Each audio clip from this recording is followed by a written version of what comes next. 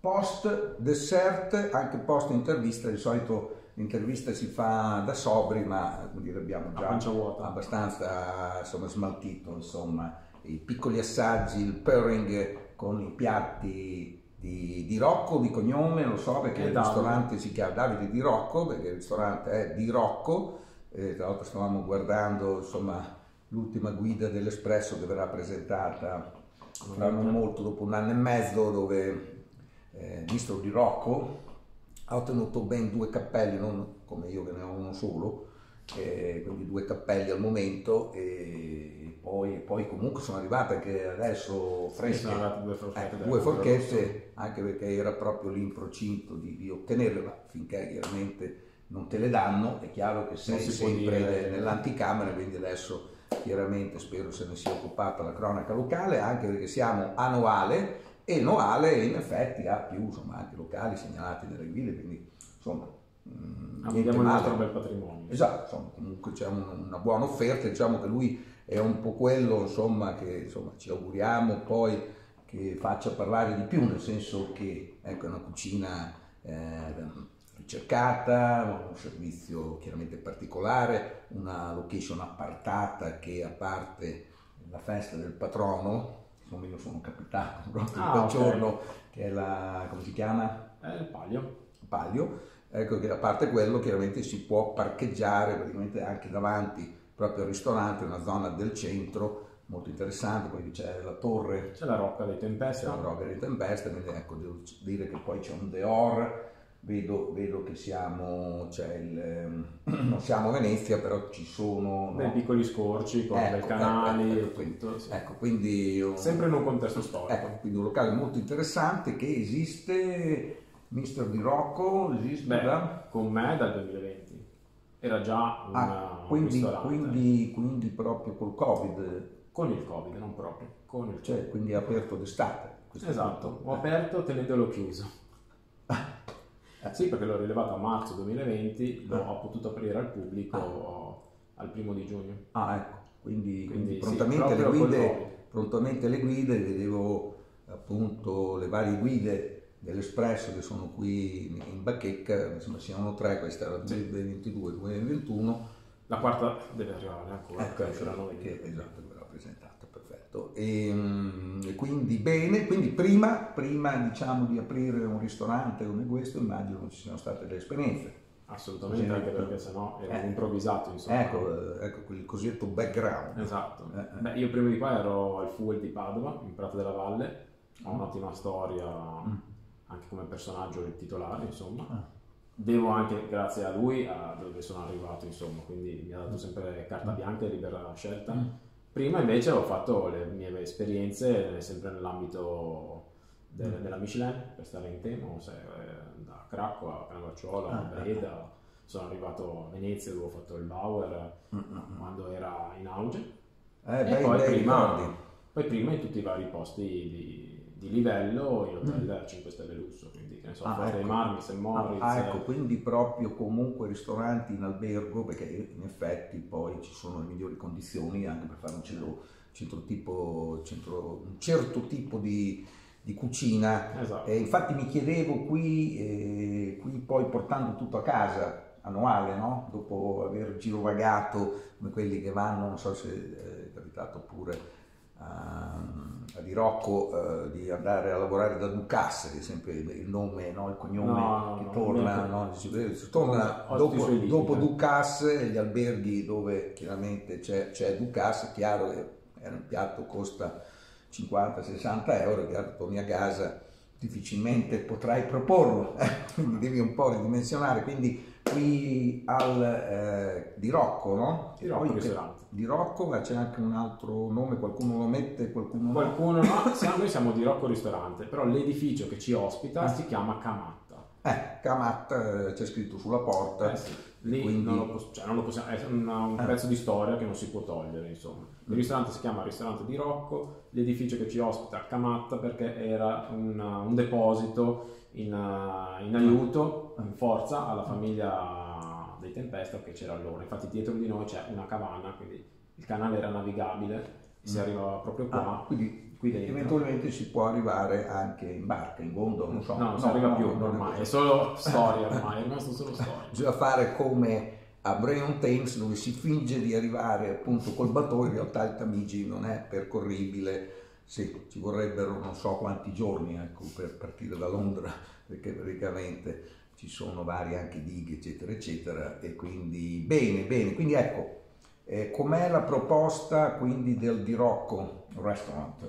È una proposta un po' aperta a tutti, anche perché noi essendo ancora nuovi, ah. anche se ci posizioniamo sulle guide, sì. eh, dobbiamo ancora consolidare eh, il nostro zoccolo. Eh, diciamo base, che adesso insomma. sono gli ultimi giorni per sapere insomma come, come è andata, perché lo vedo in generale, nel senso che durante il Covid in effetti sono anche stati primati dei locali che hanno approfittato un po' anche del Covid, no? Certo. in mente, non so, il stelle miste di Firenze, ecco, quindi adesso ci torna un po' alla normalità, quindi chiaramente quelli, quelli che insomma, sono stati favoriti in un certo senso, una, una brutta parola, è come se spezzassimo una lancia a favore del Covid, è dura, però in effetti ci sono state delle cose che potremmo dire ci voleva. No, assolutamente, noi siamo stati sostenuti durante il Covid, eh. però è da due anni a questa parte eh. che finalmente incominciamo a vedere, eh. capire quindi, come posizionarci. Quindi bene, no, ecco, io lo, lo, chiedevo per via de, del menù, cioè un ristorante gastronomico presente nelle guide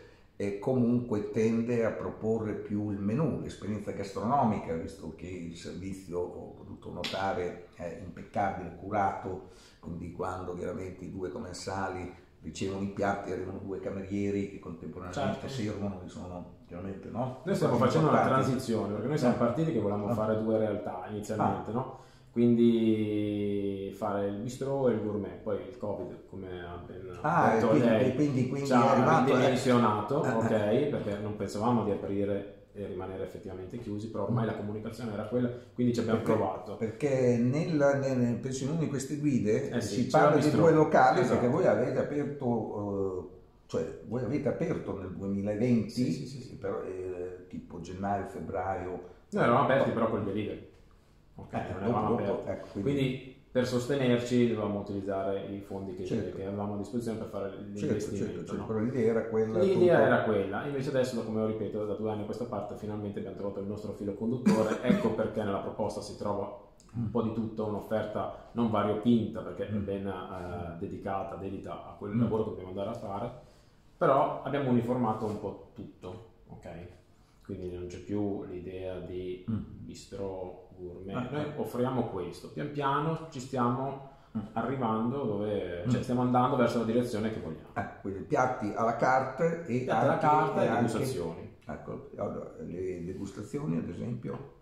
Degustazioni abbiamo tre, una di solo pesce crudo, perché comunque eh, è zona, sì. ci sono molti appassionati di, di, di, crudo di pesce, quindi noi lo presentiamo sia in maniera naturale che in maniera un pochettino più articolata e il primo, il primo menu è il biglietto da visita, proprio il menu che, di quattro portate che serve per farci conoscere. Se uno è la prima, cioè se un cliente arriva per la prima volta certo. e vuole lasciarsi alle, eh, alle esperienze, diciamo così, dello chef, sceglie il biglietto da visita, tanto che abbiamo chiamato biglietto da visita proprio perché è una presentazione. Dopo c'è un mani libere dove eh, lì il cliente si lascia proprio alle mani e ah. alla mente del, dello chef. Che, che, si fida dello chef. Esatto. Ecco. Quindi uno è per rompere il ghiaccio, il secondo si fa solitamente quando uno ti conosce, non ha il primo appuntamento, insomma. Ecco qua, quindi abbiamo le, insomma, le due formule. Esatto. Ecco, cosa, cosa, stanno preferendo i vostri clienti?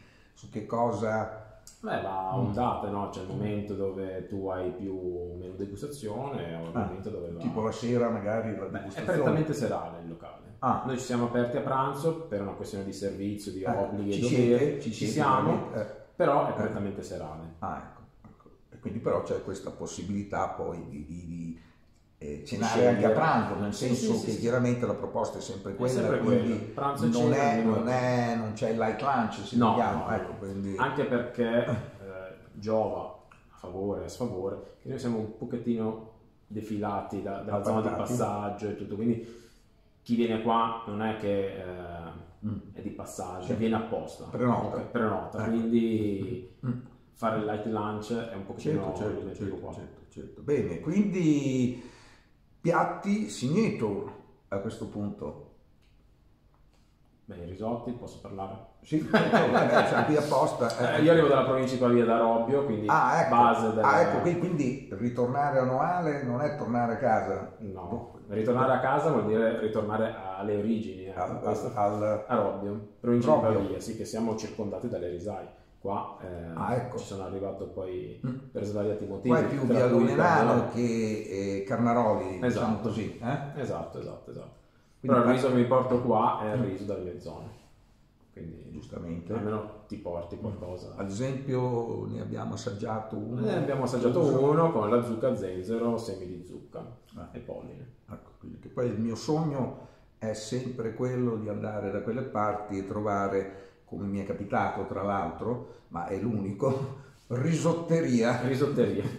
Che in realtà poi mi spiegava proprio Rondolino una sera, perché ah. io chiaro avevo accettato il suo invito, dovevamo andare a cena, siamo andati a finire in un posto che fa gli hamburger dove eravamo alloggiati, un okay. hotel insomma, di buona categoria, ma di risotti non, non ce n'erano, mi ha assicurato. È solo questo famoso di Manuel, Christian e, la mamma, ah, sì, sì, sì. eccetera, c'era scritto risotteria. Io avevo immaginato certo. che... Esatto, sì, esatto, esatto. avevo, avevo però, sempre però un sogno diciamo nel cassetto, insomma, di trovare un posto appunto come il loro dove ci sono 20 tipi o anche più di, di risi. Sì, sì, ecco. sì, qui, qui quante ne fate? No, noi ne facciamo sempre uno fisso ah, in carta e uno fisso. No, no, no, ne abbiamo due, però eh. uno è fisso in carta e uno è extra. Quindi eh. è un fuori carta che cambia in base alla stagionalità, ai prodotti e tutto. Che emerge poi nei menu anche a mano esatto. libera, eccetera, eccetera. E quindi si predilige sempre comunque eh, Carnaroli, abbiamo detto. Per forza. Mm, non, non, no, cioè, come il Vialone Nano... No, sono tutti ottimi risi, mm. ma siccome io arrivo da quelle parti, almeno una parte mia me la devo certo. portare, no? Certo, per avere un po' di autenticità. Eh, no. Quindi, quindi cioè, un piatto invece, adesso parte eh, chiaramente per il risotto, chiaramente bisogna venire qui da di Rocco Noale, quello, eh, però proprio un, un, piatto che ha un nome, che ha quindi una serie di ingredienti Beh, il piatto tipo è il dolce nostro che è a base di zabaione. Mm. Nei due anni che eh, sono stato a Padova là c'era una torta tipica, ah. ok? Noi l'abbiamo rivisitata o mm. scomposta, l'abbiamo, l'abbiamo reinterpretata. Mm. Ecco, cambiamo queste terminologie ed è diventato un nostro piatto simbolo come dolce, insomma. Poi abbiamo la crostatina mm. vegetariana, poi il risotto, bene o male. Questi sono poi ah. pian piano mm diventati tramite la gente, perché alla fine è la gente che poi a forza di richiederteli mm-hmm. te, ti determina il piatto. Bene, nel caso di vegetariani, come è capitato anche in questa occasione con la mia accompagnatrice, quindi notavo che c'era del tofu che mia moglie insomma spesso cucina ma ha gradito perché naturalmente era cotto in modo particolare Beh, quindi, cerchiamo di accontentare quindi anche... il tofu è in carta in un certo senso. Ce l'abbiamo, ecco. ce l'abbiamo perché noi comunque accontentiamo tutte le, le, le fasce certo. eh, di gradimento, quindi anche per i vegetariani e vegani certo. abbiamo poi al di là degli intolleranti al glutine e latticini, però cerchiamo sempre di soddisfare il cliente. Infatti sul nostro menu mm. c'è proprio ho scritto una frase dedicata al mondo vegetariano e vegano che fa se non trovi qualcosa che ti può interessare, tu non ti preoccupare, domanda, che comunque una soluzione c'è. Ecco. Non, non, ti soffermare solo su quello, tu chiedi che qualcosa ti verrà dato. Beh, diciamo che il colore, eh, il colore diciamo, della preparazione poteva ricordare più il seitan, no? Ah, ok. Ecco, ecco, cioè, perché il tofu sarebbe bianco. E quello è diventato marrone. ecco, quello è diventato grigliato, non sì, so, sì, adesso sì. io non, non, l'ho assaggiato, anche perché avendo una, una moglie vegetariana, chiaramente di tofu, quindi proteina, praticamente proprio è un po' come un po' il tofu si adatta insomma a, un po' come la cappasanta no? Ah, sì, sì, prendi sì, la cappasanta la devi grigliare oppure la devi insaporire ma non ha, è trasparente in un certo senso no, cioè no, non, ha, non ha un, un, un sapore ecco che no? certo parte chiaramente le cappesante crude chiaramente fanno impazzire eh. quelle valorizzano però si, si adattano molto bene alla preparazione quindi Bene, bene, poi abbiamo i, i, vini, i vini, non so se il sommelier, cioè il, il, cuoco entra anche nel campo del, del sommelier. Essendo chef patron, ecco. in un modo ci entra, ok. Quello... Però quella parte è dedicata ah. al sommelier, insomma, noi ecco.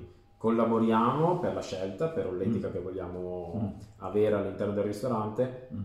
dopo però è, è, lei che fa questa parte, che segue questa parte. Bene. Come è giusto che sia, no? Bene, se non ci sono altre cose, noi ci auguriamo di tornare sempre con lo chef per riaggiornarvi. Chiaramente, grazie ad altri successi che non tarderanno, secondo me, ad arrivare. Bene, complimenti a Grazie mille. di Rocco.